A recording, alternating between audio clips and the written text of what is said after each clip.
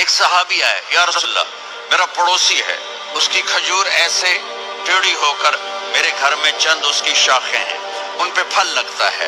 वो टूट के गिरता है, मेरे बच्चे उठा लेते हैं, हम गरीब हैं। वो भागा भागा आता है उनके मुँह से खजूर निकाल लेता है। उसको कहें कि बच्चों पर इतनी ज्यादती ना करें। आपने उसको बुलाया, वो मुनाफिक था। आपने उससे फरमाया, भाई, एक सौदा करते हो? कहा, जी, क्या? कहा ये खजूर मुझे दे दो और इसके बदले जन्नत में मैं खजूर लेके दूँगा। वो कहने लगा, या रसूल अल्लाह ये असल में मेरे बच्चों को बहुत पसंद है। कोई और खजूर होती मैं दे देता। ये तो मेरी माजरत है। वो तो मुनाफिक था। उठ के चला गया। एक साहबी बैठे थे। वो कहने लगे, या रसूल अल्लाह अगर मैं वो खजूर लेके दे दूँ तो मुझे जन्नत में ले देंगे? उनका नाम है अबुदाह आपने कहा हाँ तू मुझे लेके दे दे, मैं तुम्हें ले दूँगा। वो उसके पीछे चले गए। ए भाई, कितने में बेचोगे?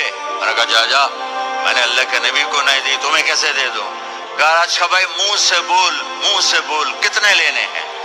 तो उसने जान छुड़ाने के लिए कहा कि अपना सारा बाग मुझे दे दे, खजूर ले ले। बाग में 600 खजूरें, और ये खजूर किसी और को देनी है। तो कहता है, पक्के हो, फिरोगे तो नहीं? कहा, मैं पागल हूँ, मैं फिरूँगा। मुझे 600 खजूरों का बाग मिल रहा है। उन्होंने कहा, डन, खजूर मेरी, बाग तेरा। वो भागे भागे आए। या रसूल अल्लाह मैंने सौदा कर लिया। कहा, कैसे किया? का सारा बाग दे के खजूर ले ली। आपने कहा, फिर मेरा सौदा भी बदल गया। कम मिन आदकन रदाहा वदार फयाहा, ले अबिदाहा फिल जन्ना।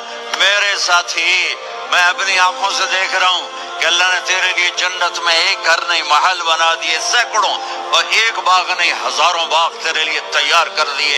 ये है ईमान की निशानी, ये है मोहब्बत की निशानी।